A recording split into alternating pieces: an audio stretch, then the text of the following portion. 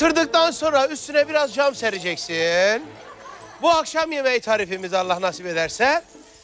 Camlar şeffaf olsun. Renkli olursa görüntüyü bozar. Daha iyi olur abi. He? Tatlım daha iyi olur.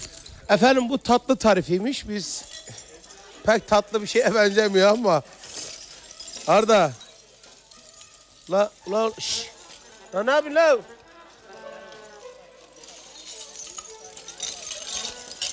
Evet. Efendim bu ha bu fındık ezmesi diye bunu sepiyorlar.